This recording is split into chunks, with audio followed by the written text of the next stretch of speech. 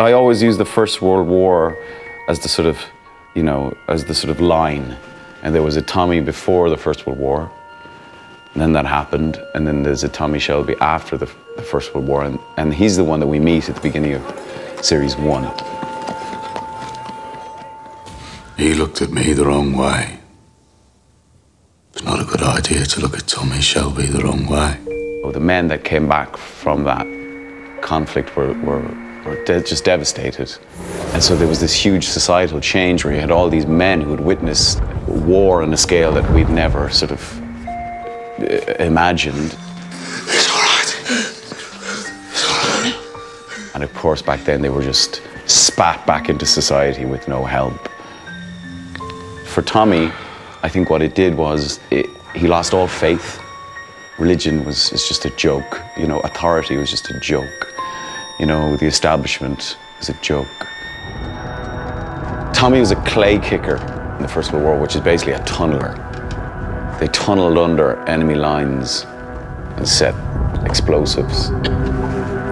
And so it was the most claustrophobic, horrific, dark job you could possibly have. Like the worst of the worst, you know. And he seems to turn that trauma into this kind of relentless ambition because he, he could have died at any point there. He's not afraid of death, so every day is just like for free, so why not? He's a fascinating character then because he's relentless and fearless. To encounter him as an enemy is, is pretty scary because of that lack of fear. There's no rest for me in this world. What happens in the next? Also, I think he's burdened with an intellect and trying to sort of move in the world of mere mortals who process stuff at a much slower pace, I think for Tommy is very, very frustrating. I think.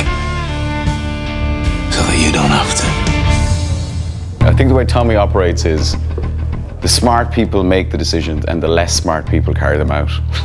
and that seems to him to be the logical way of things. And in his eyes, Polly and him are the smart ones. They make the strategy and it's carried out by the other members of the family. Shot guns. Don't you stay with us, you stay back. Let's go! I think the pre-war Tommy, he smiled a lot, he laughed a lot, he, he wanted to work with horses, he was very romantic. You know, all of these things, you see scratches of them, you know, throughout the, the show and there's times when he feels like he's getting towards some sort of healing when he's with Grace and then it's taken away again. And then he retreats back into that kind of shell emotionally and even though what he does in all of the series, a lot of the actions are obviously morally completely at odds with what any of us would agree with. That's why people are fascinated by him because we see in him a magnified version of what all humans are like. And his goal ultimately, you know, to protect his family. People can identify with that. But I feel incredibly privileged to be part of a show that has incrementally improved season upon season. And I'm very proud that we've managed to do that. Yeah.